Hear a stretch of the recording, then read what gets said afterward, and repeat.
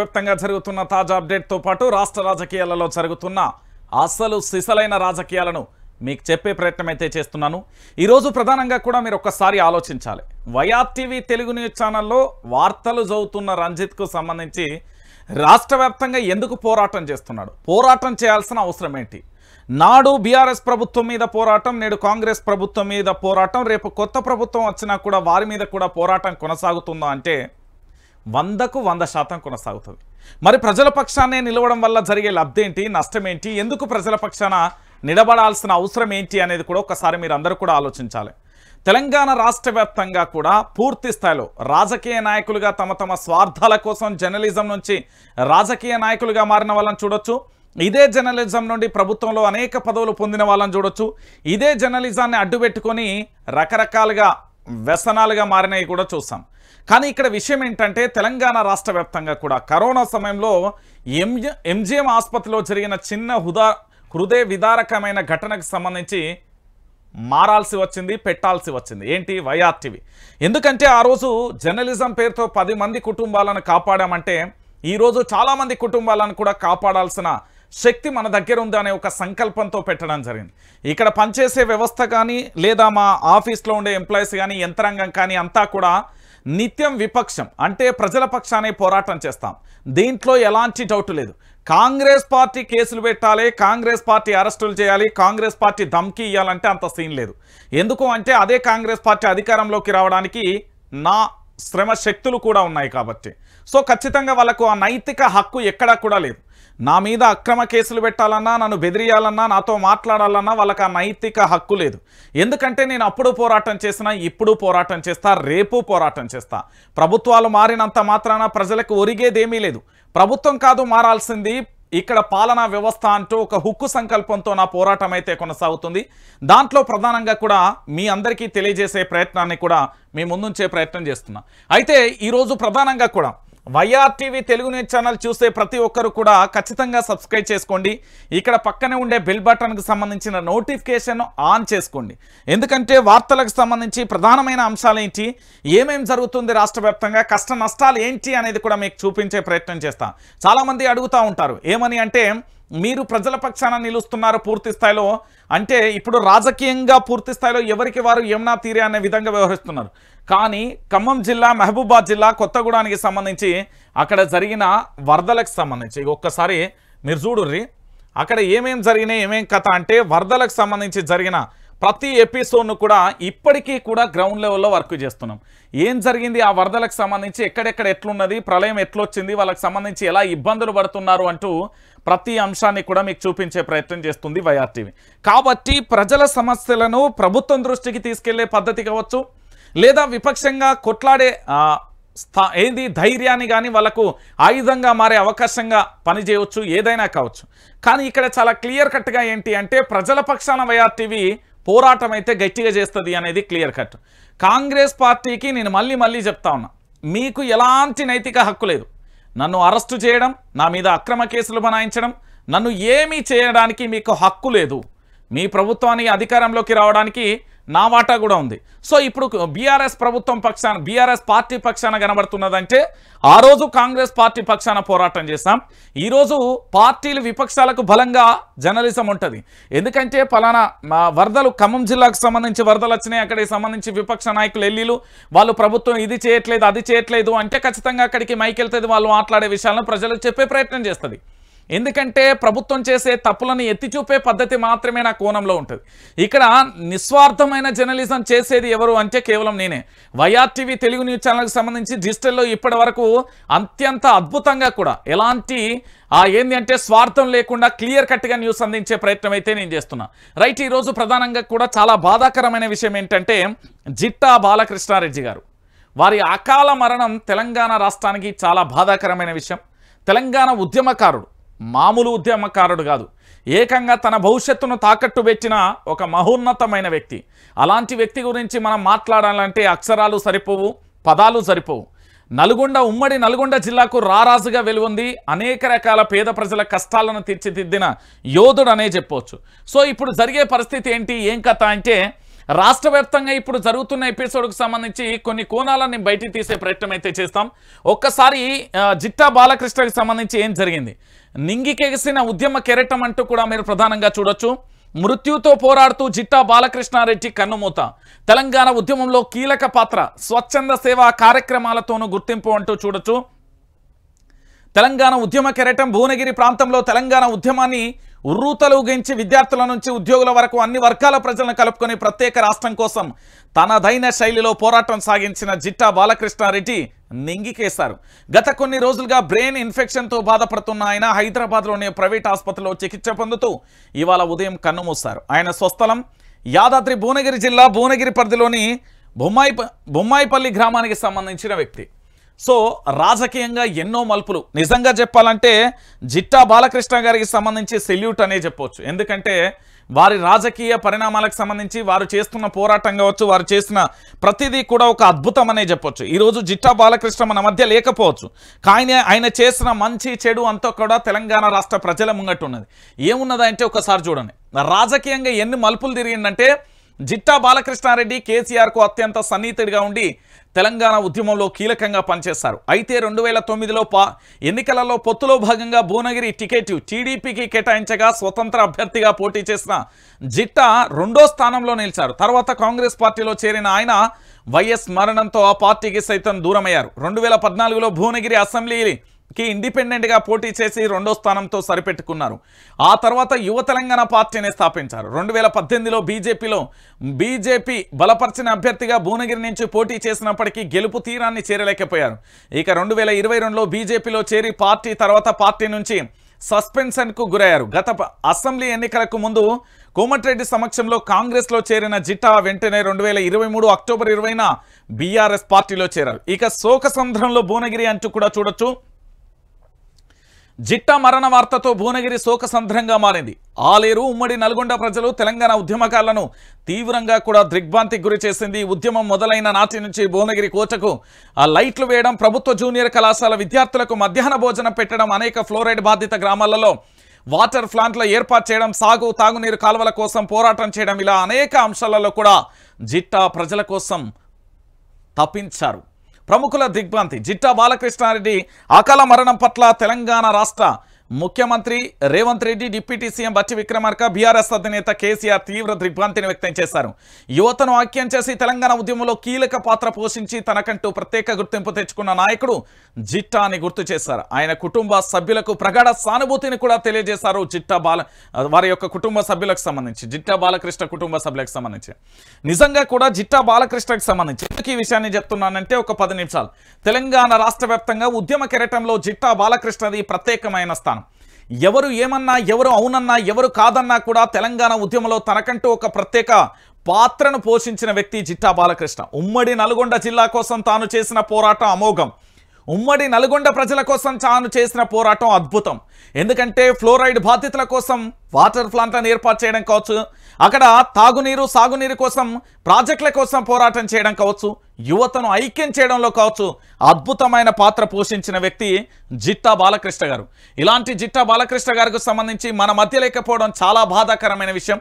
ఇది హృదయ విదారకమైన ఘటన. నిజంగా చెప్పాలంటే ఉద్యమకారుడు ఉంటే నలుగురు మరో వందలాది మంది ఉద్యమకారులను తయారు చేసే చరిత్ర ఉద్యమకారుడికి ఉంటుంది. మరి అలాంటి వ్యక్తి ఈరోజు మన మధ్య లేకపోవడం అనేది చాలా బాధాకరమైన విషయం. వైఆర్ టీవీ మా సిబ్బంది తరపున వైఆర్ టీవీ వ్యూవర్స్ తరఫున కూడా జిట్టా బాలకృష్ణ రెడ్డి గారి కుటుంబ సభ్యులకు మా ప్రగాఢ సానుభూతి తెలియజేస్తున్నాం. మీరు ధైర్యంగా ఉండండి అమ్మా తెలంగాణ సమాజం మొత్తం కూడా మీతో వెన్నంటి నడుస్తుంది. ఎందుకంటే వారు చేసిన సేవలు కావచ్చు వారు చేసిన మంచి పనులు కావచ్చు వారు చేసిన పోరాటం కావచ్చు ఒక అద్భుతం అనే చెప్పొచ్చు. సో మొత్తానికి జిట్టా బాలకృష్ణ గారు మన మధ్య లేరు అనే బాధాకరమైన విషయం ఈరోజు చాలా నన్నైతే మానసికంగా చాలా తీవ్రమైన ఆందోళనకు గురి చేసింది.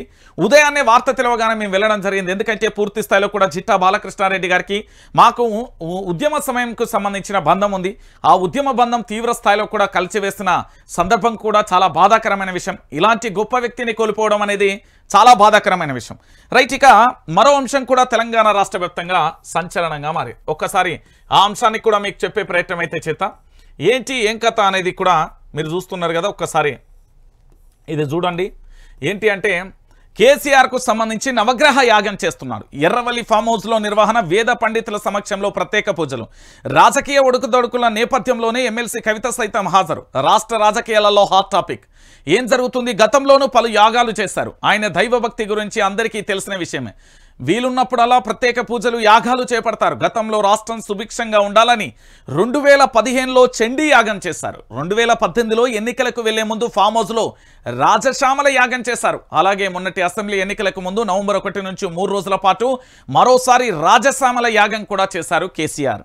కేసీఆర్ తన వ్యక్తిగతం కోసమో కేసీఆర్ తన అభివృద్ధి కోసమో కేసీఆర్ తన రాజకీయ పార్టీ కోసమో ఎప్పుడూ చేయలేదు తెలంగాణ ప్రాంత బిడ్డల కోసం తెలంగాణ ప్రాంత ప్రజల కోసం తెలంగాణ రైతాంగం కోసం తెలంగాణ పౌరుల కోసం ఏం చేసిండు అంటే రెండు వేల పదిహేనులో ఈ రాష్ట్రం సుభిక్షంగా ఉండాలని చండీ యాగం ఆ తర్వాత కూడా రెండు వేల పద్దెనిమిది ఎన్నికలకు వెళ్ళేటప్పుడు రాజశామల యాగం చేశాడు.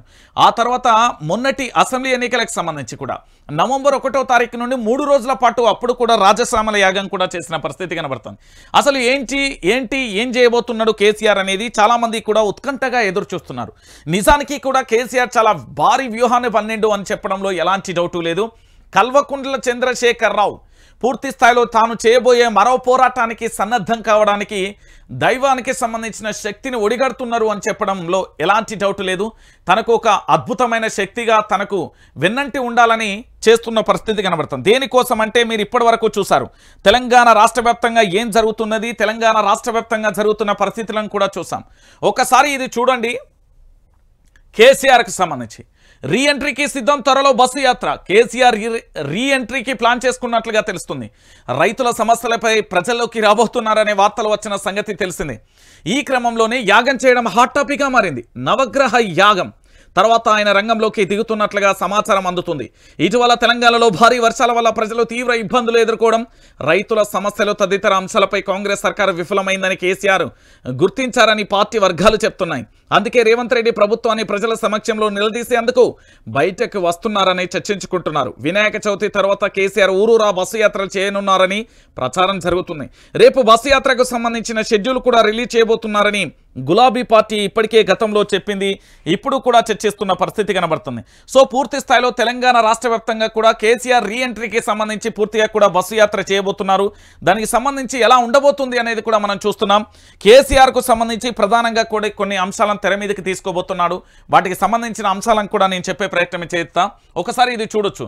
ఏంటి అంటే బీఆర్ఎస్ పార్టీకి సంబంధించిన అధినేత అనేక రాజకీయ ఒడుకుదొడుకుల నేపథ్యంలో బీఆర్ఎస్ అధినేత మాజీ ముఖ్యమంత్రి కేసీఆర్ నవగ్రహ యాగం నిర్వహిస్తున్నారు. సిద్దిపేట జిల్లా గజ్వెల్ పరిధిలోని ఎర్రవెల్లి ఫామ్ హౌస్లో వేద పండితుల సమక్షంలో జరుగుతున్న ఈ కత్రువులో కేసీఆర్ దంపతులతో పాటు కూతురు ఎమ్మెల్సీ కవిత కూడా పాల్గొన్నట్లుగా తెలుస్తుంది. ఇందుకు సంబంధించిన ఫోటోలు సోషల్ మీడియాలో తెగ వైరల్ అవుతున్నాయి. ప్రతికూల రాజకీయ వాతావరణం పలు ఇబ్బందులకు సంబంధించి కూడా కారణంగా వేద పండితుల సూచన మేరకే గులాబీ బాసి యాగం చేస్తున్నట్టుగా పార్టీ వర్గాలు వెల్లడించాయి. అసెంబ్లీ లోక్సభ ఎన్నికలలో పరాజయం కీలక నేతల పార్టీ ఫిరాయింపులతో బీఆర్ఎస్ పార్టీ గండు పరిస్థితిని ఎదుర్కొంటున్నట్లుగా తెలుస్తున్న పరిస్థితి కనబడుతుంది. సో ఇలాంటి పరిస్థితులలో కేసీఆర్కు సంబంధించి ఇక మరోవైపు కవిత కోసమేనా? మరోవైపు ఢిల్లీ లిక్కర్ స్కామ్లో ఆరోపణలతో ఐదు నెలల పాటు తీహార్ జైల్లో ఉన్న కవిత ఎమ్మెల్సీ కవిత ఇటీవల సుప్రీంకోర్టు బెయిల్పై విడుదలైన విషయం తెలిసింది. అప్పటి నుంచి ఆమె తండ్రి కేసీఆర్ వద్దే ఉంటున్నట్లుగా పార్టీ వర్గాలలో టాక్ నడుస్తుంది. కవిత భవిష్యత్తు శ్రేయస్ కోసం వేద పండితుల సూచన మేరకు కూడా తాజా తాజాగా యాగం చేస్తున్నట్లుగా కూడా టాపిక్ కొనసాగుతుంది అంటూ కూడా ప్రధాన అంశానికి సంబంధించి కూడా ఇలా అయితే కేసీఆర్ ఎందుకు ప్రజల మందికి ప్రజల్లోకి రాబోతున్నారు? ఎందుకు కేసీఆర్ నవగ్రహ యాగం చేయబోతున్నాడు అనేది ఇప్పుడు తెలంగాణ రాష్ట్ర వ్యాప్తంగా ఒక చర్చ కొనసాగుతుంది. నిజానికి తెలంగాణ రాష్ట్ర వ్యాప్తంగా ఏం జరుగుతుంది అంటే కల్వకుంట్ల చంద్రశేఖర్ రావు నవగ్రహ యాగం చేస్తున్నారు. కేసీఆర్ ఎప్పుడు చేసినా కూడా తన వ్యక్తిగతమో తన కుటుంబం కోసమో తన రాజకీయం కోసమో తన భవిష్యత్తు కోసమో ఏనాడు చేయలే. క్లియర్ కట్గా ఏంటి అంటే రెండు వేల పదిహేనో సంవత్సరం. మీ అందరికీ గుర్తుండాలి అప్పుడు చండీ యాగం చేసిండు ఆ తర్వాత రెండు వేల పద్దెనిమిదిలో కూడా రాజశ్యామల యాగం చేసిండు ఆఖరికి రెండు వేల ఇరవై మూడులో కూడా రాజశ్యామల యాగం చేసిండు కేసీఆర్.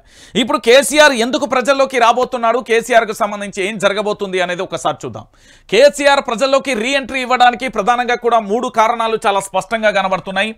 కేసీఆర్ రాక కోసం తెలంగాణ సమాజం ఎదురు చూస్తున్నది తెలంగాణ పౌరాణికం ఎదురు చూస్తున్నది తెలంగాణ రైతాంగం ఎదురు చూస్తున్నది తెలంగాణ ప్రాంత బిడ్డలు ఎదురు చూస్తున్నారు కేసీఆర్ వస్తేనే బాగుంటుంది కేసీఆర్ ఉంటేనే బాగుంటుంది కేసీఆర్ ఘంటాపదంగా ప్రజల కోసం పోరాటం చేయాల్సిన అవసరం ఆవశ్యకత ఎంతైనా ఉంది అంటూ కూడా చెప్తున్నారు.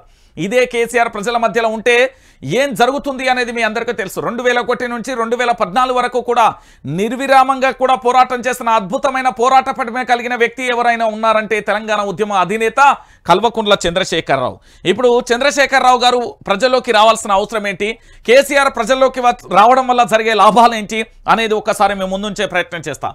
మొట్టమొదటిసారిగా తెలంగాణ ప్రాంతానికి సంబంధించిన ఏంది అంటే నిరుద్యోగులకు సంబంధించిన సమస్య మనం అందరం కూడా చూసాం. ఏంది అంటే నిరుద్యోగుల సమస్య కావచ్చు దాని తర్వాత రైతుల సమస్య కావచ్చు ఆ తర్వాత మూడోది ప్రధానంగా కూడా మీ అందరికీ తెలిసిన విషయమే. ఏంది అంటే మహిళలకు సంబంధించిన ఎపిసోడ్ కావచ్చు. వీటన్నింటికి సంబంధించి పూర్తి స్థాయిలోకి సంబంధించి కేసీఆర్ ఇప్పుడు ప్రజాక్షేత్రంలో ఉంచబోతున్నాడు. ఎందుకంటే group one group two group త్రీకి సంబంధించి కావచ్చు డిఎస్సికి సంబంధించి పోస్టులను పెంచుతూ మినీ డిఎస్సి కాదు మెగా డిఎస్సి వేయాలి. అదేవిధంగా యువతందరికీ కూడా ఉపాధి అవకాశాలు కల్పించాలనే అంశం సంబంధించి పూర్తి స్థాయిలో పోరాటం జరిగింది. అది యావత్తు తెలంగాణ సమాజం చూస్తారు ఇదే యువత కోసం హైదరాబాద్కు సంబంధించి బ్రాండ్ హైదరాబాద్ భారతదేశంలోకి వెళ్ళా ఎక్కడికి వెళ్ళినా కూడా అద్భుతమైన ఏది అంటే తెలంగాణలో హైదరాబాద్ను ప్రధానంగా చూపెడతాను. హైదరాబాద్కు సంబంధించి రక్షణ విషయంలో కావచ్చు హైదరాబాద్కు సంబంధించి ఇక్కడ ఉన్న వనరుల విషయంలో కావచ్చు హైదరాబాద్కు సంబంధించి భవిష్యత్తును బంగారు పల్లెంలో చూపించడానికి ఒక అద్భుతం అని చెప్పొచ్చు. ఇలాంటి హైదరాబాద్కు సంబంధించి పూర్తి స్థాయిలో యువతను కాపాడుకునే ప్రయత్నం కేసీఆర్ చేయబోతున్నాడు. దాంతోపాటు మహిళలకు సంబంధించి పూర్తి స్థాయిలో ఇప్పటి అంటే ఒకటి రెండు మూడు అని చెప్పలేం. నల్గొండలో జరిగిన లాకప్ డెత్ కానీ దాంతోపాటు దళిత మహిళ పట్ల థర్డ్ డిగ్రీ వ్యవహరించిన విషయం కావచ్చు భువనగిరికి సంబంధించిన ఇద్దరు చిల్లారల మరణం కావచ్చు ఇట్లా రకరకాలుగా చెప్పుకుంటూ పోతే ఒకటి కాదు రెండు కాదు మూడు కాదు చాలా రకాలుగా కూడా మనం ఆలోచించవచ్చు తెలంగాణ రాష్ట్ర ఎటువైపు చూసినా కూడా సమస్యల వలయంలో ఉండడంతో వాటికి సంబంధించిన వాస్తవాలను కూడా తెలంగాణ మహిళలకు సంబంధించి జరిగిన అన్యాయం విషయంలో కావచ్చు బయట పెట్టే ప్రయత్నం చేయబోతున్నాడు కేసీఆర్. ఇక మరొక అంశం ఏంటంటే రైతులకు సంబంధించి. రైతులకు సంబంధించి కాంగ్రెస్ ప్రభుత్వం ఏ విధంగా వంచేస్తుంది కాంగ్రెస్ ప్రభుత్వం ఎట్లా మోసం చేస్తుంది కాంగ్రెస్ ప్రభుత్వం ఏం చేస్తుంది అనేది ఏంటి అనేది పూసగుచ్చినట్టు. నాకు తెలిసిన భాషలో మన భాషలో మాట్లాడుకోవాలంటే ఒక దండానికి సంబంధించి ఏ విధంగా పూల దండాలతో అంత క్లారిటీగా కూడా తెలంగాణ రైతాంగం ప్రతి ఊరిలో ప్రతి గ్రామంలో ప్రతి గడపలో ప్రతి మండలంలో ప్రతి నియోజకవర్గంలో ప్రతి జిల్లాలో రాష్ట్ర వ్యాప్తంగా కల్వకుంట్ల చంద్రశేఖరరావు చూపించబోతున్నాడు అనే విషయం. అది ఏ విధంగా సాధ్యమవుతుంది ఎట్లా సాధ్యమవుతుంది అనేది చాలా మందికి కూడా డౌట్ ఉంది. ఎందుకంటే రాష్ట్ర రైతుకు సంబంధించిన పెట్టుబడి ఇవ్వకుండా రైతు రుణమాఫీ అనే ఒక డ్రామాను తినలేకే ద- పోనీ దాన్నైనా వంద శాతం చేస్తారంటే నలభై శాతం చేసిన పరిస్థితి కనబడుతుంది. పోనీ దానికి సంబంధించి రైతులు చనిపోతే వాళ్ళకి రైతు భరోసా అనే స్కీమ్ ఎక్కడ పోయింది అనేది ఈ మూడు అంశాలు కూడా మచ్చుకైనా కానరావకపోవడంతో కేసీఆర్ ప్రజల్లోకి రాబోతున్నాడు. కేసీఆర్ చేసే నవగ్రహ యాగంగానే ఇది తెలంగాణ ప్రజల భవిష్యత్తు కోసం. తెలంగాణలో జరుగుతున్న అనేక చిల్లర మల్లర ఘటనలు. చాలా బాధాకరమైన విషయం. ఆసిఫాబాద్కి సంబంధించి నా గిరిజన బిడ్డకు సంబంధించిన ఇష్యూలో ఇప్పటి వరకు కూడా రాష్ట్ర ప్రభుత్వం ఏ విధంగా వ్యవహరించింది? ఆ విషయాన్ని ఏ విధంగా తొక్కిపెట్టే ప్రయత్నం చేసింది? అక్కడ విషయాన్ని బయటికి రాకుండా శాటిలైట్ ఛానల్ కానీ తమ యొక్క అనుకూల మీడియాకు సంబంధించి ఒక్క విషయాన్ని కూడా బయటపెట్టలేని ఇలాంటి నీచమైన ప్రభుత్వం మనకు అవసరమా? ఇలాంటి పరిస్థితులు కాదు మనకు ఆనందంగా ఐదు ఆరోగ్యాలతో ఉండాలి అంటే ఖచ్చితంగా కూడా మరొక యాగానికి నాంది పలికిండు కేసీఆర్ త్వరలో కేసీఆర్ బయటికి రాబోతున్నాడు. కేసీఆర్ వినాయక చవితి తర్వాత ఖచ్చితమైన ఒక షెడ్యూల్తోని పూర్తి స్థాయిలో బయటకు వచ్చే అవకాశాలు అయితే చాలా స్పష్టంగా కూడా కనబడుతున్నాయి. ఇక Bharatiya Janata party Congress party ఒకటేనా? చాలా మంది ప్రశ్న ఇది. తెలంగాణ రాష్ట్ర రాజకీయాలలో. ఎందుకంటే ఖమ్మంలో కేంద్ర బృందం ఏరియల్ సర్వే వరద బాధిత ప్రాంతాలను పరిశీలించిన కేంద్ర మంత్రి శివరాజ్ సింగ్ చౌహాన్ పాల్గొన్న బండి సంజయ్ బచ్చి విక్రమార్క. మధ్యాహ్నం సెంట్రల్ టీంతో రేవంత్ భేటీ అంటూ కూడా ప్రధాన అంశానికి సంబంధించి కూడా హైలైట్ చేసినాం మరి ఈ దేశానికి సంబంధించిన ప్రధాని నరేంద్ర మోడీ గారు అంత బిజీగా ఏమున్నారు? వరదలతో నా తెలంగాణ రాష్ట్రం అల్లాడిపోతా ఉంటే ప్రధాని నరేంద్ర మోడీ గారు రారా అండి? ఈ తెలంగాణ రాష్ట్రానికి సంబంధించిన ఎనిమిది మంది ఇక్కడ పూర్తి స్థాయిలో ఎంపీలు ఉన్నారు కదండి. కాంగ్రెస్ పార్టీకి సంబంధించిన ఎనిమిది మంది ఎంపీలు ఉన్నారు కదండి. మరి వీళ్ళందరూ కేంద్రానికి సంబంధించిన ప్రధాని నరేంద్ర మోడీ మన రాష్ట్రానికి రావడానికి ఎందుకు విముఖత చూపెడుతున్నాడు? మన రాష్ట్రంలో ఇక్కడ పది మంది ఎమ్మెల్యేలను కూడా ఇచ్చినాం కదా భారతీయ జనతా పార్టీ. భారతీయ జనతా పార్టీ మౌనం వెనుక వీడని మిస్టరీ ఏంటి అంటే కాంగ్రెస్ భారతీయ జనతా పార్టీ రెండు కూడా దోస్తులే. ఇక్కడ రాష్ట్ర వ్యాప్తంగా మాత్రం ఖచ్చితంగా దోస్తులు అని చెప్పడంలో ఎలాంటి డౌట్ లేదు.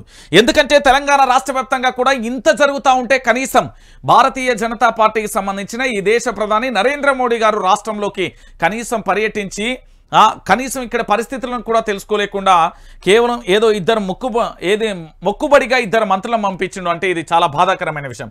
నేను మళ్ళీ మళ్ళీ చెప్తున్నా తెలంగాణ రాష్ట్ర కూడా క్లియర్ కట్గా మీరు గుర్తుపెట్టుకోవాల్సిన అంశం ఏంటంటే దొందు దొందే శ్రేణుపాడే కాంగ్రెస్ బీజేపీ రెండు రెండే. కాబట్టి ఖచ్చితంగా జరిగే అంశం అదే అని చెప్పక మానదు. ఇక దానితో పాటుగా ఇంకొక ఆ, ఎపిసోడ్ ఏంది అంటే మీ అందరికీ తెలిసిన విషయమే. కోమరం భీం జిల్లా ఆసిఫాబాద్. కుమరం భీం ఆసిఫాబాద్ జిల్లాకు సంబంధించిన అంశం. మహిళకు మహిళల కంటే ఫర్నిచర్ ముఖ్యమా? ఓవైసీపై కేంద్ర మంత్రి బండి సంజయ్ ఆగ్రహం. గాంధీ ఆసుపత్రిలో బాధితురాలకే పరామర్శ. కోమరంభీం ఆసిఫాబాద్ జిల్లా జైనూరు మండలంలో ఆదివాసీ మహిళపై ఆటో డ్రైవర్ అత్యాచార యత్నం దాడి ఘటనపై పెద్ద ఎత్తున నిరసనలు వ్యక్తమవుతున్న క్రమంలో జైనూరు పట్టణంలో నిన్న కర్ఫ్యూ విధించారు. తాజాగా కేంద్ర హోం శాఖ సహాయ మంత్రి బండి సంజయ్ గాంధీ ఆసుపత్రిలో చికిత్స పొందుతున్న ఆదివాసీ మహిళలను పరామర్శించారు. ఈ సందర్భంగా మీడియాతో మాట్లాడుతూ బాధితురాలి ముఖంపై ఉన్న గాయాలను చూసి చెల్లించిపోయానని ఆవేదన వ్యక్తం చేశారు. ఇలాంటి పరిస్థితులలో ఎంపీ అస్దుద్దీన్ ఓవేసి జైనూరులో దుకాణాలు దగ్ధమయ్యాయని మాట్లాడడం సిగ్గుచేటన్నారు.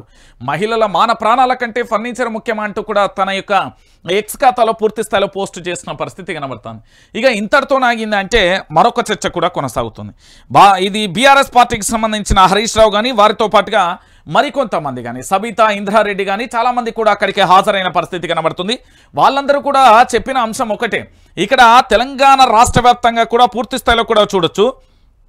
ఎందుకంటే కోమరంభీం ఆసిఫాబాద్ జిల్లా జైనూరు మండలంలో ఆదివాసీ మహిళకు సంబంధించిన అంశం ఏదైతే ఉందో దానికి సంబంధించి పూర్తి స్థాయిలో కూడా మనం చూసాం ఏం జరుగుతున్నది ఏం కథ అంటే కూడా అక్కడ జరిగిన పరిస్థితులను కొన్నింటిని మేము ముందుంచే ప్రయత్నం అయితే చేస్తాం. ఏంటి అనేది కూడా ఒకసారి మనం చూడొచ్చు. తెలంగాణ రాష్ట్ర సబితా ఇంద్రారెడ్డి గారు అదేవిధంగా హరీష్ రావు గారు పూర్తిగా కూడా అక్కడికి వెళ్ళి వాళ్ళని పరామర్శించిన అంశాన్ని ఒకసారి చూడొచ్చు. ఏ దాంతో పాటుగా పూర్తిగా కూడా ఇటు హరీష్ రావు రుణమాఫీ కాలేదు అనే కారణంతో మెచ్చలకు చెందిన రైతు సురేందర్ రెడ్డి ఆత్మహత్య చేసుకోవడం బాధాకరం. పంట పండించే రైతన్నకు సంబంధించి ఆ ఏది ఆ రైతును అక్కడ పరామర్శించిన తర్వాత అంటే మరణించిన వారి కుటుంబ సభ్యులకు సంబంధించి పూర్తి స్థాయిలోకు అక్కడ ఏంది ఆ వ్యక్తులను చూసిన తర్వాత ఇక మా గాంధీ ఆసుపత్రికి వెళ్ళి పూర్తి స్థాయిలో అక్కడ గిరిజన బిడ్డ ఎవరైతే ఉన్నారో హరీష్ రావు కూడా అక్కడ మాట్లాడిన పరిస్థితి అయితే కనబడుతుంది. ఇలాంటి సంఘటన జరుగుతూ ఉంటే రాష్ట్ర ప్రభుత్వం ఎందుకు ఇంతలా వ్యవహరిస్తున్నది? కనీసం దానికి సంబంధించి ఇంత మొద్దు నిద్రపోతున్న పరిస్థితి అంటూ కూడా చెప్పిన పరిస్థితి. అయితే ఇక్కడ హరీష్ రావు ఏం మాట్లాడిండు అనేది ఒకసారి మనం ఆలోచించాలి. ఎందుకంటే జేనీర్లో జరిగిన సంఘటన అత్యంత పాశవికమైన ఘటన. చాలా దారుణంగా అత్యాచారం చే యత్నం చేసి రాయితో ముఖం మీద దాడి చేశారు. రాష్ట్రంలో అత్యాచారంలో నిత్యకృత్యమై. మొన్న నాగర్ కర్నూలు జిల్లాలో చెంచు మహిళకు సంబంధించి మీద అత్యాచార యత్నం. ఎల్బీ నగర్లో నాలుగు సంవత్సరాల అమ్మాయి మీద అత్యాచార యత్నం. పెద్దపల్లిలో ఆరు సంవత్సరాల అమ్మాయి మీద అత్యాచార యత్నం. భూపాల్పల్లిలో పోలీస్ కానిస్టేబుల్ మీద ఎస్ఐ అత్యాచార యత్నం. నల్గొండ జిల్లాలో దివ్యాంగ మహిళ మీద అత్యాచార యత్నం. ఈ ప్రభుత్వం వచ్చాక లా అండ్ ఆర్డర్ చాలా గాడి తప్పింది అనేది స్పష్టం చేయడానికి వాస్తవాలు. తొమ్మిది నెలల పాలనలో పంతొమ్మిది వందల అత్యాచార కేసులు నమోదయ్యాయి. ఆ సబిత గారు అసెంబ్లీలో మాట్లాడితే మహిళకు మహిళకు భద్రత కరవైందంటే మరుసటి రోజే హైదరాబాద్లో నాలుగు అత్యాచారాలు జరిగాయి. ఇక భద్రత ప్రభుత్వం ముద్దు నిద్రపోతా ఉన్నది. కేసీఆర్ హయాంలో రక్షణకు కేర్ ఆఫ్ అడ్రస్గా కంటికి రెప్పలా కాపాడుకున్న తెలంగాణ సంబంధించి ఇక్కడ పూర్తి స్థాయిలో కేంద్ర హోంమంత్రి కూడా మెచ్చుకున్నారు అప్పట్లో. ఈరోజు పూర్తి స్థాయిలో కూడా ఆ ఏంది భద్రతా సలహాదారులకు సంబంధించి తెలంగాణ రాష్ట్రానికి సంబంధించి ఇక్కడ ప్లో పోలీస్ గ్లోబల్ సమ్మిట్కు సంబంధించి పూర్తి స్థాయిలో కూడా సేఫ్టీ సిటీ అని కూడా చెప్పిన పరిస్థితి కనబడుతుంది ఈ రోజు ఈ ప్రభుత్వం వచ్చినాక కేవలం తొమ్మిది నెలల్లో దాదాపుగా పంతొమ్మిది వందల పంతొమ్మిది వందల వన్ నైన్ డబల్ జీరో అత్యాచారాలు రెండు వేల ఆరు వందల హత్యలు రెండు వందల ముప్పై స్మగ్లింగ్ ఏంది పూర్తి స్థాయిలో వెపన్స్ సీజ్ చేయడం అనేది ఏం జరుగుతుంది అనేది కూడా ఒకసారి ఆలోచించాలి. నాటు తుపాకుల రాజ్యం ఏలుతుంది. రాష్ట్రంలో లా అండ్ ఆర్డర్ కుప్పగురిపోయింది రాష్ట్ర క్రెడబిలిటీ దెబ్బతింటున్నాయి. ఇటు నిర్మల్ సనత్ నగర్ గోసామహల్ జైనూరులో మత కల్లోహాలు జరుగుతూ ఉన్నాయి. వీటికి సంబంధించి ఇప్పటి వరకు కూడా ఎవరూ పనిచేయడం లేదు. ఈరోజు మహిళలపై దాడులు నిత్యకృత్యంగా మారిపోతే ఆఖరికి వన్ డబల్ జీరో కూడా పనిచేయడం లేదు. పోలీసుల వారి పోలీసులను వారి పని వారు చేయనీయడం లేదు. జర్నలిస్టుల మీద దాడులు జరుగుతున్నాయి. ప్రశ్నిస్తే అక్రమ కేసులు జరుగుతున్నాయి అంటూ కూడా పూర్తి స్థాయిలో కూడా హరీష్ రావు మండిపడ్డ పరిస్థితి కనబడుతుంది. ఇదంతా వాస్తవం కదా? తెలంగాణ రాష్ట్ర ఇదంతా నిజం కదా? ఈరోజు కుమరం భీం ఆసిఫాబాద్ జిల్లా జైనూరు మండలానికి సంబంధించి నా గిరిజన బిడ్డ నా జాతి బిడ్డకు అన్యాయం జరుగుతూ ఉంటే మరి రాష్ట్ర ముఖ్యమంత్రి గారు అక్కడికి వెళ్ళి పరామర్శించారా? పోనీ ఇదే గిరిజనకు సంబంధించి పూర్తి స్థాయిలో కూడా కాంగ్రెస్ పార్టీకి సంబంధించిన మంత్రులు వెళ్ళిన పరిస్థితి కనబడుతుంది. అక్కడ పూర్తి స్థాయిలో మహిళలందరూ కూడా తిరగబడ్డ పరిస్థితి కూడా మనం చూసాం. ఈరోజు తెలంగాణ రాష్ట్ర వ్యాప్తంగా ఏం జరుగుతుంది అంటే కన్నీటి హృదయ దృశ్యాలు మాత్రమే కనబడతాయి తెలంగాణలో. అలాంటప్పుడు ఒకసారి మీరు అందరూ కూడా ఆలోచించాలి. మరి కేంద్రంలో కేంద్ర హోం సహాయక మంత్రి కేంద్ర హోంశాఖ సహాయక మంత్రిగా ఉన్న బండి సంజయ్ గారు కూడా ఏం చేయలేకపోతున్నారు అంటే ఇది చాలా బాధాకరమైన విషయం. ఇక నిన్న ఒక విషయాన్ని నేను చూసా. ఏంటి అంటే నిన్నటి రోజున పూర్తి స్థాయిలో ఇదొకటి జరిగింది. ఏం జరుగుతుంది తెలంగాణలో? కాస్త లోతుగా అధ్యయనం చేయాలి. ఎందుకంటే ప్రతి విషయానికి సంబంధించి మనం కేవలం ఈ రోజు ఏం జరుగుతుందో అన్న ఆలోచన కంటే రాబోయే ఆరు నెలల్లో ఈ తెలంగాణలో ఏం జరుగుతుంది అనేది అత్యంత కీలకమైన విషయం. రైట్ మీ అందరికీ తెలుసు రాష్ట్ర ముఖ్యమంత్రి యనుమల రేవంత్ రెడ్డి అలియాస్. గుంపు మేస్త్రి అంటారు. ఎవరు? విపక్ష పార్టీలకు సంబంధించి. తనకు తానే స్వయంగా కూడా ప్రకటించుకున్న పరిస్థితి చూసాం. అయితే ముఖ్యమంత్రి గారికి భయానికి సంబంధించిన అసలు విషయం ఏంటో ఇప్పుడు నేను చెప్పే ప్రయత్నం చేస్తా. మీరు చాలా క్లారిటీగా కూడా అర్థం చేసుకోవాలి. ఇక్కడ మీకు కనబడుతున్నది ఒక్కసారి చూడొచ్చు. పెద్దలను అరెస్ట్ చేసి చిన్నోళ్ళను భయపెట్టాం భయపెడదాం లేదా భయపెట్టాం భయపెడదాం. ఏదైనా చేద్దాం. పెద్దలను అరెస్ట్ చేస్తే చిన్నవాళ్ళు భయపడతారు. ఇది ఏ రాజ్యాంగంలో లేదే? ఏ బుక్లో లేదే? ఏ యుద్ధ యో ఏ యుద్ధ కళలలో కూడా లేదే? ఏ ప్రసంగాలలో లేదే? ఏ మోటివేషన్ క్లాసులలో కూడా లేదే? పెద్దలను భయపెడితే చిన్నవాళ్ళు ఎలా భయపడతారు? పెద్దోళ్ళు ఎవరు? చిన్నవాళ్ళు ఎవరు? ప్రశ్నించే గొంతుకు ఒకటే రాసే కలం ఒకటే జారువాలే పెన్ను ఒకటే అయినప్పటికీ ఇది ఎక్కడి నుండి వచ్చింది అనేది ఒకసారి మనందరూ కూడా ఆలోచించాలి. ఎందుకు నేను ఈ విషయాన్ని చెప్తున్నా అనేది తెలంగాణ రాష్ట్ర ప్రజలందరూ కూడా ఆలోచించాలి. ఇప్పుడు ఇక్కడ కనబడుతున్న వ్యక్తి ఎవరు? ఏం జరిగింది అనేది ఒకసారి చెప్తా. రేవంత్ సర్కార్ నయా ప్లాన్. దాంట్లో భాగంగానే కొనతం దిలీప్ అరెస్టు విచారణ. తెలంగాణ వాదుల గొంతు నొక్కే ప్రయత్నం. జేనూరు ఘర్షణలకు సాకుగా చూపి అరెస్ట్. ఆయనకు సంబంధం లేని సోషల్ మీడియా పేజీలో ఘర్షణ వీడియోలు. మత ఘర్షణలకు కారణమయ్యారంటూ ఆరోపణలు. ప్రశ్నించే వారిని భయపెట్టే ప్రయత్నం. దిలీప్ అరెస్టును ఖండించిన తెలంగాణ వాదులు. దాదాపు ఎనిమిది గంటలు విచారించి నోటీసులు జారీ. రాష్ట్ర బీజేపీ అధికారిక ఎక్స్ అకౌంట్తో పాటు అవే అవే దృశ్యాలను షేర్ చేసిన ఇతర పేజీలు. బీజేపీ నేతల జోలికి పోని కాంగ్రెస్ పార్టీకి సంబంధించిన సర్కార్. అసలేం జరిగింది అంటే ఒకసారి ఇక్కడ మీకు లిఖితపూర్వకంగా అక్షరమాలలతో అద్భుతంగా కనిపించేటి ఒకసారి చూద్దాం. ఏం జరిగింది? ప్రశ్నించే గొంతుకలపై రాజ్యం కత్తిగట్టింది కేసుల పేరుతో వేదనపలకు గురి చేస్తుంది. దీనికి తాజా నిదర్శనం రాష్ట్ర మాజీ డిజిటల్ డైరెక్టర్ తెలంగాణ ఉద్యమకారుడు కొనతం దిలీప్. ఆయనకు సంబంధం లేని కేసులో ఇరికించే ప్రయత్నం చేస్తుంది సర్కార్. ఓ సోషల్ మీడియా పేజ్లో ఎవరో పెట్టిన జైనూర్ ఘర్షణలకు సంబంధించిన వీడియోలను సాకుగా చూపి అరెస్టు చేసి సుమారు ఎనిమిది గంటల పాటు విచారించి మత ఘర్షణలకు కారణమయ్యారంటూ అభియోగాలు మోపి భయభ్రాంతులకు గురి చేయాలని చూస్తుందని తెలంగాణ వాదులు ఆరోపించారు. ఇదే అంశంపై పలువురు బీజేపీ నేతలు ఇతర సోషల్ మాధ్యమాలలో వీడియోలను పోస్టు చేసినా పట్టించుకొని సర్కార్. ఒక్క కొనతం దిలీప్నే టార్గెట్ చేయడం విమర్శలకు దారితీస్తుంది. కక్షగట్టిన సర్కార్ వ్యవహరిస్తుందని ప్రధాన ప్రతిపక్షం బీఆర్ఎస్ తెలంగాణ వాదులు కూడా ఆగ్రహం వ్యక్తం చేస్తున్నారు. మీరందరూ ఇక్కడ కూడా చూస్తున్నారు కదా ఈ పేజీలకు సంబంధించి కేవలం ఆ ఏంది భారతీయ జనతా పార్టీకి సంబంధించి ఇతరత్రకు సంబంధించిన చాలా పేజీలలో కూడా పోస్ట్ చేశారు. నిజంగానే ఈ సమయంలో కల్వకుంట్ల చంద్రశేఖరరావు ఉంటే జైనూరు ఘటన ఎంత అద్భుతంగా కూడా భారతీయ జనతా పార్టీ బండి సంజయ్ అయినా కాంగ్రెస్ పార్టీకి సంబంధించిన రేవంత్ రెడ్డి అయినా లేకపోతే ఎవరైనా కూడా అక్కడికి వెళ్ళే వాళ్ళ కాదా అనే ఒక విషయాన్ని మీరు గుర్తుపెట్టుకోర్రి. నేను ఎందుకు ఈ విషయాన్ని చెప్తున్నానంటే ఈరోజు జైనూర్ సంఘటన తెలంగాణ రాష్ట్ర వ్యాప్తంగా కూడా ఎక్కడ కనిపించట్లేదు వినిపించట్లేదు. కనీసం అక్కడ ఘర్షణకు సంబంధించిన వాతావరణాన్ని శాటిలైట్ ఛానళ్ళు ఎక్కడ రాయట్లేదు? ఏమి జరిగింది అంటే మూగబోయాయా? భయభ్రాంతులకు గురయ్యాయా? ఏం జరుగుతుంది అనేది ఆరా తీసే ప్రయత్నం చేసినా కూడా ఎక్కడ ఆచూకీ కనిపించలేదు. ఏంటి అనేది పూర్తి స్థాయిలో చూస్తే ఒక విషయం బయటకు వచ్చింది ప్రభుత్వానికి పూర్తి స్థాయిలో ప్రభుత్వ పెద్దలకు బానిసలుగా మారుతుంది మా తెలంగాణలోని జర్నలిజం. దీన్ని ప్రశ్నించడానికి మాత్రం రావట్లేదు. జేనూరుకు సంబంధించి ఆసిఫాబాద్ కుమరం భీం జిల్లాకు సంబంధించి జరిగిన ఈ సంఘటన సోషల్ మీడియాలో షేర్ చేసినందుకు పోస్టులు పెట్టినందుకు అరెస్టులు కేసులా. ఇది ఎక్కడి రాజ్యాంగం? మత ఘర్షణలు ఎవరు తీస్తున్నారు? ఎక్కడ జరుగుతున్నది? అక్కడ జరిగిన వాస్తవాలను ప్రభుత్వానికి ప్రజలకు తెలియజేయడంలో తప్పేంటి? ఇదేదైనా రాజ్యాంగంలో లెక్కించబడి ఉందా? దీనికి సంబంధించి ఎక్కడైనా కనిపించిందా? ఒక్కసారి తెలంగాణ ప్రాంత బిడ్డలు ఆలోచించాలి. ఈ రోజు రాష్ట్ర మాజీ డిజిటల్ డైరెక్టర్ తెలంగాణ ఉద్యమకారుడు కొనతం దిలీప్ అరెస్ట్. విచారణ సంచలనం సృష్టిస్తుంది. తప్పులను ఎత్తి చూపుతూ ఎప్పటికప్పుడు సమాజంలో చైతన్యం రగి రగిలిస్తున్న దిలీప్ పట్ల రేవంత్ సర్కార్ వివరించిన తీరుపై తెలంగాణ వాదులు ఆగ్రహం వ్యక్తం చేస్తున్నారు. అక్రమ కేసులు పెట్టేందుకు ప్రయత్నిస్తున్నారని మండిపడుతున్నారు. గత ఆరు నెలలుగా దిలీప్ను వేధిస్తున్న సర్కార్ ఈ క్రమంలో మరోసారి టార్గెట్ చేసింది ప్రస్తుతం అదుపులోకి తీసుకుని భయపెట్టాలని చూస్తుంది. మండిపడుతున్నారు. గతంలో ఆర్టీసీ చిహ్నంపై కొనతం దిలీప్ పై కేసు పెట్టింది రేవంత్ సర్కార్. సాక్షాత్తు రవాణా శాఖ మంత్రి పొన్నం ప్రభాకర్ వాట్సాప్ గ్రూప్లో పెట్టిన చిహ్నాన్ని తన సోషల్ మీడియాలో అకౌంట్లో పోస్ట్ చేసినందుకు ఏకంగా కేసులు పెట్టి దిలీప్ దిలీప్ను అరెస్టు చేసే అంతవరకు వెళ్ళింది. అయితే హైకోర్టు మొట్టికాయలు వేయడంతో ప్రభుత్వం వెనకడుగు వేసింది. అంటే పూర్తి స్థాయిలో కొనతం దిలీప్. ఒక్కరే ఉన్నారా తెలంగాణలో? ఆయన ప్రశ్నించినంత మాత్రాన పూర్తి స్థాయిలో అరెస్టు చేస్తారా? అంటే ఎవరు ప్రశ్నించకూడదా? ఒకసారి మీకు క్లియర్ కట్గా నేను చెప్పే ప్రయత్నం చేస్తా. వాట్ ఈజ్ వాట్ అనేది? తెలంగాణ ప్రాంత బిడ్డలందరూ చూడాలి. నేను ఇక్కడ రెండు ఎపిసోడ్లను మీ అందరికీ కూడా చూపించే ప్రయత్నం చేస్తాను దీంట్లో భయపడేది లేదు క్లియర్ కట్గా తెలంగాణ వాదులు తెలంగాణ ప్రాంత బిడ్డలందరికీ కూడా చెప్పాలి. మీ అందరికీ గుర్తుంది కదా?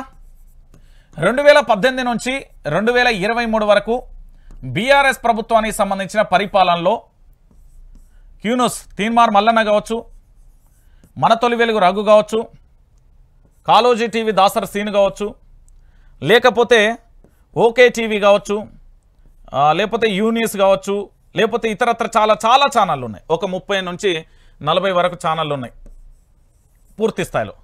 ప్రభుత్వంలో జరిగే తప్పులను ఎత్తి చూపినందుకు పూర్తి స్థాయిలో అప్పటి ప్రభుత్వంలో కూడా వీళ్ళందరూ కేసుల పాలైపోయారు. మనందరికీ తెలిసిన విషయమే. ఇప్పుడు పూర్తి స్థాయిలో మిర్రర్ టీవీ కావచ్చు న్యూస్ లైన్ కావచ్చు దాంతోపాటు యూనిస్ కావచ్చు దాంతోపాటు టీ ట్వంటీ ఫోర్ కావచ్చు దాంతోపాటుగా ఇతరత్ర ఛానల్ కావచ్చు. ఏవైనా కావచ్చు ఇప్పుడు ప్రశ్నిస్తున్నాయి. ఒకసారి మీరు ఇక్కడ డిఫరెన్స్ ఆలోచించండి. ఇక్కడ పూర్తి స్థాయిలో కూడా జరిగే పరిస్థితి ఏంది ఇక్కడ జరుగుతున్న పరిస్థితి ఏంది అనేది ఒకసారి మీరందరూ కూడా ఆలోచించాలి. గత ప్రభుత్వాన్ని ప్రశ్నించింది సోషల్ మీడియా ఇప్పటి ప్రభుత్వాన్ని పరిశీలి ప్రశ్నిస్తున్నది సోషల్ మీడియా. కానీ ఇందులో క్లియర్ కట్గా వైఆర్టీవీ తెలుగు న్యూస్ ఛానల్ అప్పుడు ప్రశ్నించింది ఇప్పుడు ప్రశ్నిస్తున్నది. దీంట్లో మనకు నీతి నిజాయితీ నిబద్ధత ఏందో మీరు ఆలోచించుకోరు. అయితే నేను ఏం చెప్తున్నానంటే అప్పటి ప్రశ్నించే గొంతుకల మీద కేసులని అప్పుడు వాళ్ళని అరెస్ట్ చేసిళ్ళు అప్పుడు వాళ్ళని ఇబ్బంది పెట్టిళ్ళు క్లియర్ కట్. ఇప్పుడు ప్రశ్నించే గొంతుకలు వాళ్ళు ప్రశ్నిస్తున్నారు వీళ్ళ మీద అక్రమ కేసులు పెడుతున్నారు వీళ్ళను అరెస్టు చేస్తున్నారు దాడులు చేస్తున్నారు అన్నీ చేస్తున్నారు. కారణం? ప్రభుత్వం మారింది తప్ప పాలనా వ్యవస్థ మారలేదు. ప్రశ్నించే గుంతకలంటే ప్రభుత్వానికి డైపర్ దడుస్తుంది పంచలు దడుస్తుంది. మన భాషలో చెప్పాలంటే చిచ్చు పోసుకుంటారు. ఎందుకు అంటే ప్రశ్నించే గొంతుకలు దలుచుకుంటే కలం దలుచుకుంటే ప్రభుత్వాలు పడిపోతాయి. జర్నలిజం జోలికి వస్తే తాట తీస్తారు. జర్నలిజం జోలికి ముట్టుకుంటే కూడా ప్రభుత్వాలు పడిపోయిన కాలంలో ఉంది. ఎన్టీఆర్ ప్రభుత్వాన్ని కూల్చేయడానికి అద్భుతం ఎం- ఎన్టీఆర్ ప్రభుత్వం కూలిపోవడానికి కూడా కారణాలు ఉన్నాయి. వైఎస్ రాజశేఖర రెడ్డి ప్రభుత్వాన్ని ముప్పు తిప్పటి పెట్టి మూడు చెర్ల నీళ్ళు రాయించిన పరిస్థితులు కూడా ఉన్నాయి. చంద్రబాబును ఉక్కిరి బిక్కిరి చేసిన ఘటనలు ఉన్నాయి. కిరణ్ కుమార్ రెడ్డిని ఆగమాగం చేసిన పరిస్థితులు ఉన్నాయి. రోషయ్యను అంతుజిక్కని పరిస్థితులలో చేశాయి. కేసీఆర్ని ఇబ్బంది పెట్టిన పరిస్థితిని రేవంత్ రెడ్డికి తలబట్టుకున్న పరిస్థితిని తెచ్చేసినాయి. జర్నలిజం ప్రజల పక్షం. అప్పుడు ప్రశ్నిస్తారు ఇప్పుడు ప్రశ్నిస్తారు రేపు ప్రశ్నిస్తారు. ఇది సర్వసాధారణం. పార్టీకో ఛానల్ ఉన్నది పార్టీకో కథ ఉన్నది. మనం మాత్రమే ఒంటరిగా పోటీ చేస్తున్నాం. ఆర్థిక ఒడిదొడుకులు అనేక రకాల ఇబ్బందులు ఏది ఏమైనా కానీ మన ప్రయాణం ప్రజలతోనే.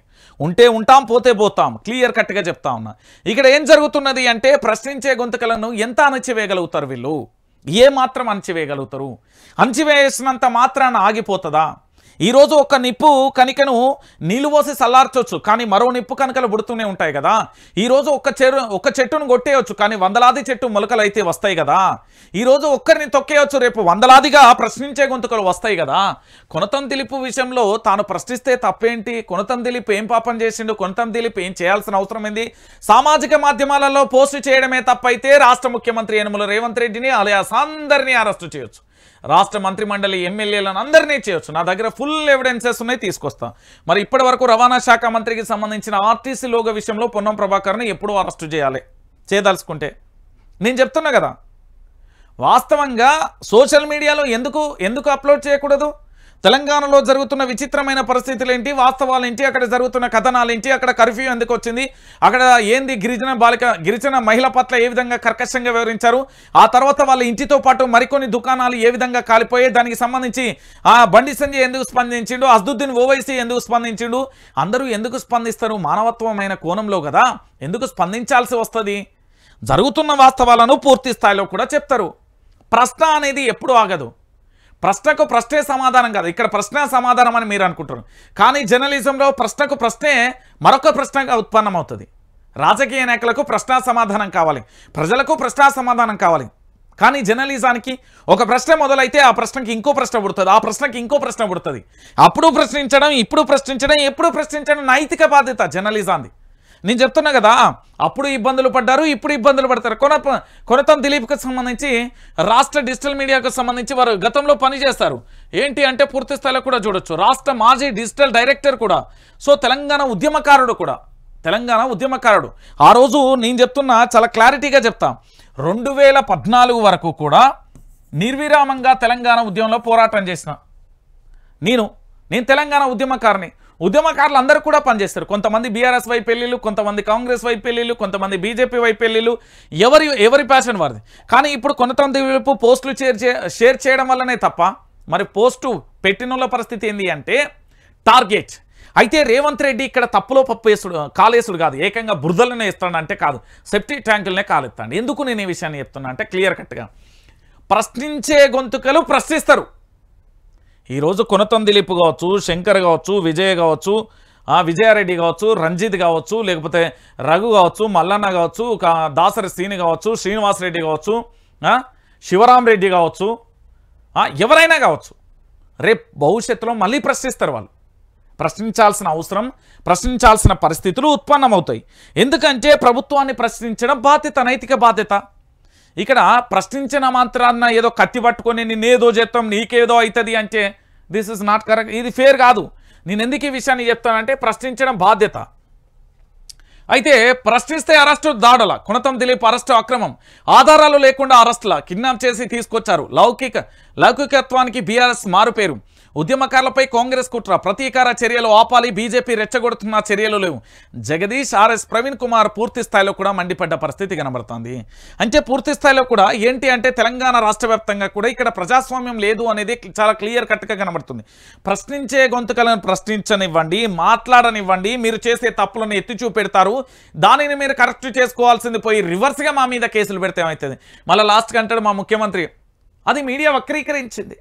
సింపుల్గా చెప్పేస్తారు వీళ్ళేదో అంగరక గ్రహం బుద్ధుడు గ్రహం చంద్రగ్రహం లేకపోతే సూర్యగ్రహం మీకెళ్ళి దిగచ్చినందుకు కుజుడ గ్రహం మీకెళ్ళి దిగచ్చిన మేమేదో తప్పు పని చేసినది మేమేదో లంగ పని చేసినట్టు వీళ్ళేదో నీతి మంతులు అయినట్టు చెప్తారు.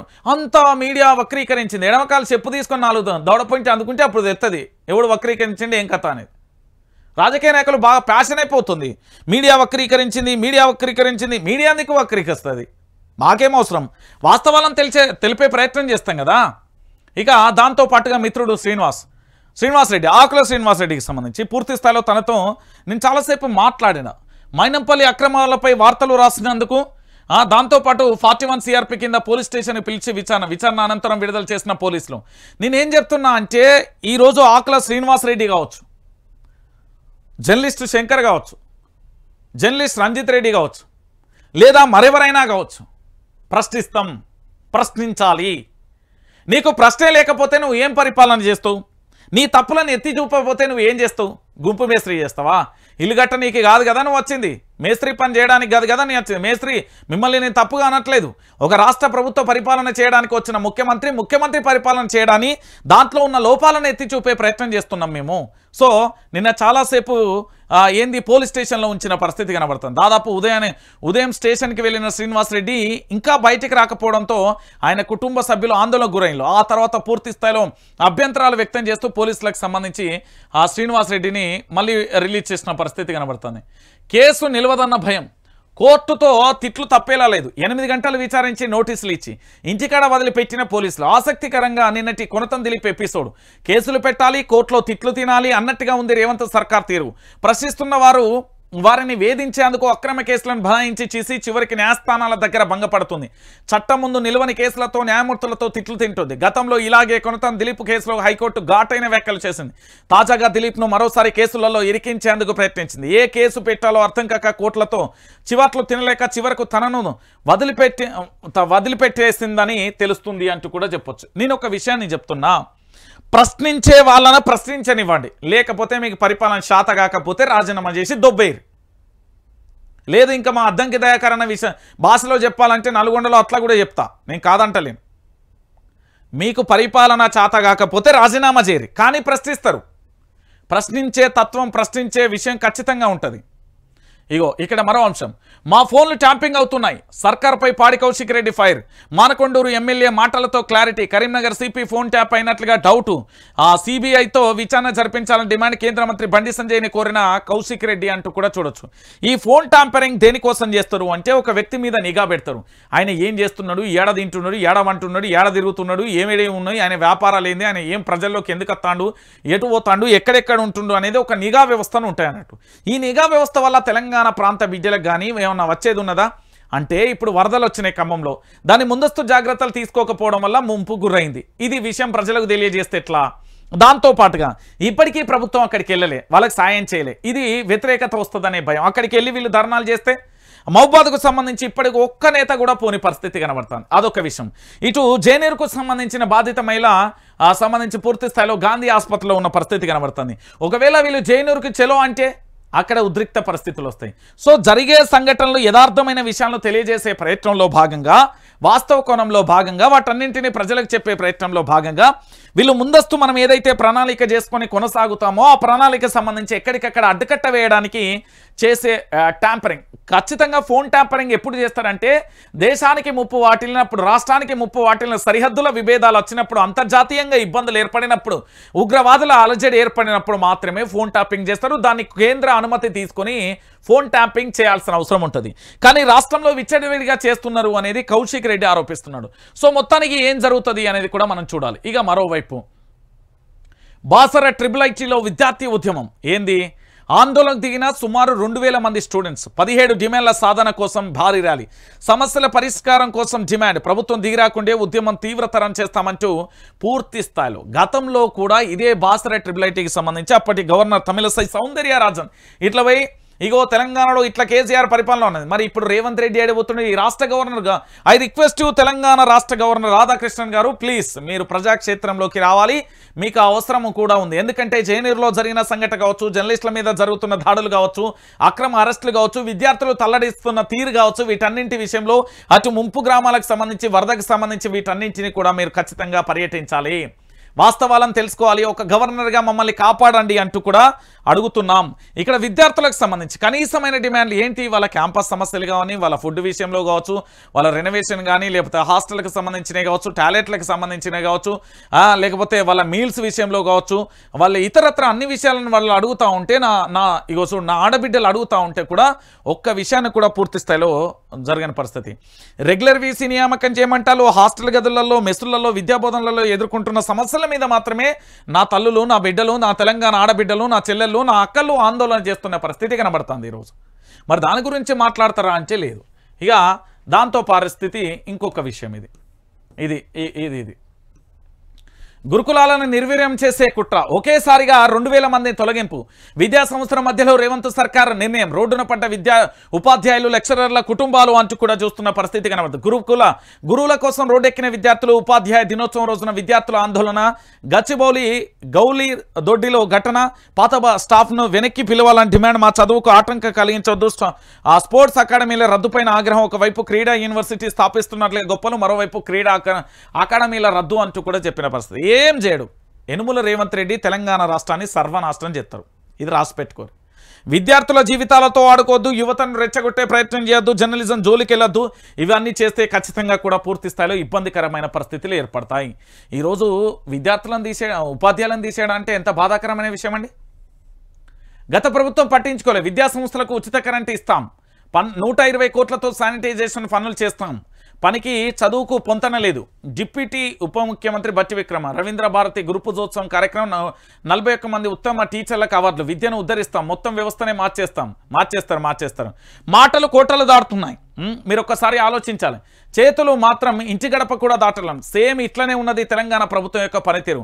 విద్యను ఉద్ధరిస్తామంటారు ఇప్పటిదాకా రాష్ట్రానికి విద్యాశాఖ మంత్రి లేడు మొత్తం విద్యా వ్యవస్థని మార్చేస్తామంటారు కానీ ఇప్పటివరకు ఉన్న గురుకులాలను నిర్వీర్యం చేస్తారు. ఫుడ్ పాయిజన్ కేసులు స్కూళ్ళలో సదుపాయాలు అన్ని గాలికి వదిలేస్తారు. గతంలో ఎన్నడూ లేని విధంగా ఏకంగా విద్యార్థులే రోడ్డెక్కుతున్న పరిస్థితులు చూస్తున్నాం. తెలంగాణలో కానీ రాష్ట్రంలో కానీ ఆ ఏంది ఏలుతున్న నాయకులే గురువారం నాడు రవీంద్ర భారతిలో జరిగిన గురు పూజోత్సవం కార్యక్రమంలో విద్యను ఉద్ధరిస్తున్నట్లు నీతులు చెప్తుంటే విద్యా విద్యావంతులు ముక్కును వేలేసుకుంటున్న పరిస్థితి కనుక మీకు ఇంకొక విషయాన్ని కూడా చెప్తా.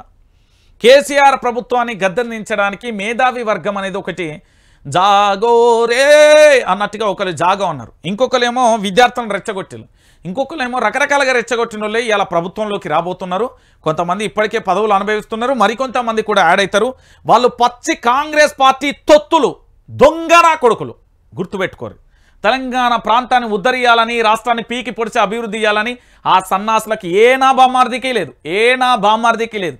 కేవలం వాళ్ళ రాజకీయాల కోసమే అప్పుడు ఉద్యమం చేసిళ్ళు. ఇప్పుడు ఆ ముసుగులో ఏంది అంటే ఏం చేస్తున్నారు అనేది మీరు ఆలోచించాలి. ఇక చూడు. టీచర్స్ డే నండి. టీచర్స్ డే రోజున నా విద్యార్థులందరూ కూడా ఆందోళన వ్యక్తం చేస్తున్నారు. టీచర్ల కోసం లొల్లి చేస్తున్నారు. టీచర్స్ డే నోరు మాకు ఉపాధ్యాయులు కావాలి అంటూ గురుకుల కాలేజీ విద్యార్థులు ఆందోళన చేస్తున్నారు. రెండు వందల యాభై మంది తాత్కాలిక అధ్యాపకులను తొలగించడం సంబంధించి. మేడం ఎక్కడో? ఆ మేనేజర్ అక్కడే. Social welfare deputation FM Kiranmai. Tesco ఆయుష్లోను ఇదే విధులు అంటూ ఎవరు? ఇదే సెక్రటరీ వద్ద విధులు అంటూ కూడా చూడొచ్చు. పూర్తి స్థాయిలో కూడా ఆ గురుకులాలు ఖాళీ అవుతున్న పరిస్థితి అయితే కనబడుతుంది. ఇక దానికి సంబంధించిన సంఘటన చూస్తాం. ఇక పోలీసుల పహారంలో జైనూర్ వెయ్యి మందితో పటిష్ట బందోబస్తు నలభై ఎనిమిది గంటల పాటు వన్ ఫార్టీ ఫోర్ సెక్షన్ విధింపు మరో నాలుగు ఏజెన్సీ మండలాల్లో అమలు. జిల్లాలో ముప్పై యాక్ట్ ఇంటర్నెట్ బంద్ అంటూ కూడా ప్రధాన అంశానికి సంబంధించి కూడా హైలైట్ చేసినాం. అయితే మనం ఇక్కడికి పోయే ప్ర ప్రయత్నం చేసినాం ఏం జరిగింది అంటే Adilabad MLA Payal Shankar house arrest కానీ రెచ్చగొట్టే వ్యాఖ్యలు చేయొద్దంటూ కూడా వాళ్ళు చెప్పారు అయితే నేను ఏం చేసిన అంటే ఇక్కడికి వెళ్ళే ప్రయత్నం అయితే చేయబోతున్నాం. అది ఏం జరుగుతుంది అనేది కూడా ఒకసారి మనం చూడాలి. ఇక ముప్పై మూడు శాతం పంట పంట దెబ్బతింటే నష్టపరిహారం.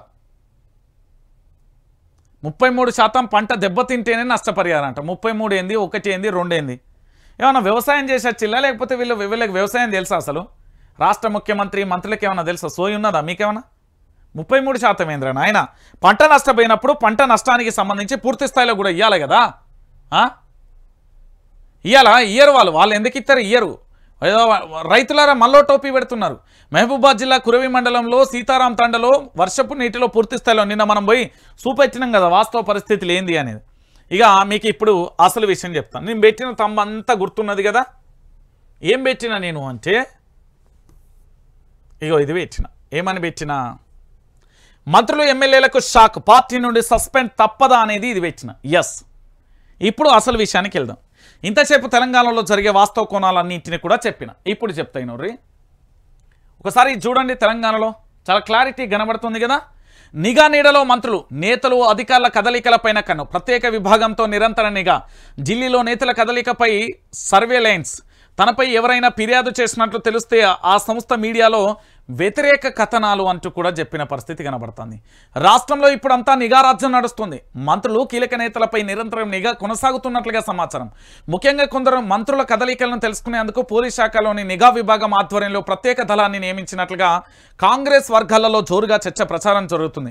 కీలక పోస్టులలో ఉన్న అధికారుల కదలికలను నిరంతరం గమనిస్తున్నారనే తెలుస్తున్నది. ప్రభుత్వం ఏర్పడిన కొత్తలో తమ ప్రభుత్వంలో మంత్రులపై అధికార పార్టీ ఎమ్మెల్యేలపై నిఘా ఉండదని ఎల్లప్పుడూ స్వేచ్ఛగా ఉంటుందని ముఖ్యమంత్రి రేవంత్ రెడ్డి చెప్పిన విషయం తెలిసింది. అదే ఇప్పుడు సీన్ రివర్స్ అయ్యిందని పలువురు కాంగ్రెస్ నేతలు సన్నిహితుల వద్ద వాపోతున్న పరిస్థితి కనబడుతున్నది. ఇప్పుడు ఏం జరుగుతుంది తెలంగాణలో? ఏం జరుగుతుంది అంటే ఏం కథ అనేది ఆ, చూద్దాం. తెలంగాణ రాష్ట్ర వ్యాప్తంగా ముఖ్యమంత్రి యనుమల రేవంత్ రెడ్డి. రేవంత్ రెడ్డి ఏం చేసిండంటే మినిస్టర్కి సంబంధించి. ఒకటి ఫస్ట్ ఆఫ్ ఆల్ టార్గెట్ ఎవరు? బట్టి విక్రమార్క. నెక్స్ట్ సీఎం పోటీలో ఉన్నాడు. ఆ తర్వాత ఉత్తమ్ కుమార్ రెడ్డి ఉన్నాడు. ఆ తర్వాత కోమట్ మన ఎవరు? పొంగులేటి శ్రీనివాసరెడ్డి ఉన్నాడు. ఆ తర్వాత కోమటిరెడ్డి బ్రదర్స్ ఉన్నారు. సో ఇది పంచాయతీ. నాకు కూడా సీఎం సీటు కావాలని సీతక్క కూడా లొల్లి పెడుతుంది. దాంట్లో ఏం తక్కువ లేదు కానీ సో మొత్తానికి ఇది పంచాయతీ.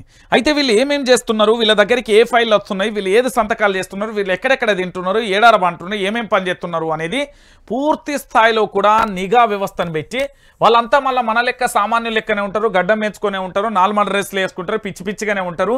కానీ ఎవరెవరు ఎక్కడికి పోతున్నారు అనేది ఒక పార్టీ కార్యకర్త కంటే దారుణంగా కూడా నిఘా పెట్టిల్లట. ముఖ్యమంత్రి గారు వాళ్ళు ఏం చేస్తున్నారు మంత్రులు ఎక్కడికి పోతున్నారు? ఎవరెవరు ఎమ్మెల్యేలు ఎవరెవరితో మాట్లాడుతున్నారు? ఎక్కడెక్కడ సమావేశాలు అవుతున్నాయి? ఏం కథ అని అన్నీ చూపించే ప్రయత్నం జరగబోతుంది. అంటే తెలంగాణ రాష్ట్ర వ్యాప్తంగా కూడా ఒక ప్రత్యేకమైన దళాన్ని ఎందుకంటే ముఖ్యమంత్రి నాలుగు నెలల ముఖ్యమంత్రి లేకపోతే నాలుగు సంవత్సరాల ముఖ్యమంత్రి నా ఒక సంవత్సరం ముఖ్యమంత్రి లేకపోతే నాలుగు సంవత్సరాల ముఖ్యమంత్రి అనేది క్వశ్చన్ మార్క్ ఉన్నది. సో ఇప్పటికే వాళ్ళ అనుచరుల దగ్గర మాత్రం ముఖ్యమంత్రి చెప్పాల్సిన గోడ అంతా చెప్పేసిండు. సో ఇప్పుడు జరగబోయే పరిస్థితులు ఏంటంటే భవిష్యత్తులో ఎలాంటి పరిస్థితులు ఉంటాయో తెలియదు కాబట్టి సో వీళ్ళు ఎవరైనా పార్టీ లైన్ దాటితే సస్పెండ్ అయినా చేయడానికి సిద్ధపడ్డాడట. మంత్రులు ఎక్కువ తక్కువ మాట్లాడితే వాళ్ళకి సోకాస్ నోటీసులు అయిన ఇస్తారట. లేకపోతే మంత్రి పదవి నుండి తప్పించి ఇంకొకరినైనా పెట్టుకునే అవకాశాలు ఉన్నాయట. సో తెలంగాణ రాష్ట్ర కూడా ఇది ఒక చర్చ కొనసాగుతుంది. ఎందుకంటే రాష్ట్ర వ్యాప్తంగా జరిగే విషయం ఏంటంటే ఈ నిఘా నీడలో మంత్రులు అనే ట్యాగ్ లైన్ ఉంది కదా ఒకసారి దీన్ని మంచిగా చూడాలి మీరు. ఇది చాలా చాలా అవసరం. తెలంగాణ రాష్ట్ర వ్యాప్తంగా కూడా జరుగుతున్న ఎపిసోడ్లలో ఈ నిఘా నీడలో మంత్రులు అనే హెడ్లైన్ కనబడుతున్నది కదా. ఈ హెడ్లైన్కు సంబంధించి ప్రత్యేకమైన చర్చ ఉన్నది. దీంట్లో ఏంది అంటే అధికారులు ఎవరెవరు ఎవరెవరికి వ్యవహరిస్తున్నారు? ఏ మంత్రి ఎవరికి సాయం చేస్తున్నాడు? ఎక్కడెక్కడ ఏం జరుగుతున్నాయి అని చెప్పే ప్రయత్నం జరుగుతున్నది. సో తెలంగాణ రాష్ట్ర వ్యాప్తంగా జరుగుతున్న ఎపిసోడ్లలో నిఘా నీడలో మంత్రులు ఉన్నారు చాలామంది కాంగ్రెస్ పార్టీకి సంబంధించి ఇప్పుడు కొత్తగా అధ్యక్షుడు మహేష్ కుమార్ గౌడ్ కావడానికి కారణం ఏంటంటే ఢిల్లీలో తనకు పలుకుబడి ఉన్నది. దాంతోపాటు అక్కడ రాజకీయాలు ఏమైనా సెటరైట్ చేయాలంటే రేవంత్ రెడ్డికి అత్యంత నమ్మకస్తుడు. సో మొత్తానికి తన పంతాన్ని నెగ్గట్టుకొని ఈ రాష్ట్రంలో ఇక ఢిల్లీతోనే నాకు అయ్యేది లేదు పోయేది లేదు. నేను రాష్ట్రంలో నాదేందో నేనే చూసుకుంటా అని ముఖ్యమంత్రి ఫిక్స్ అయిందట. సో అందుకోసమే రాష్ట్ర వ్యాప్తంగా ఒక చర్చ కొనసాగుతుంది అనే విషయాన్ని గుర్తుపెట్టుకోండి.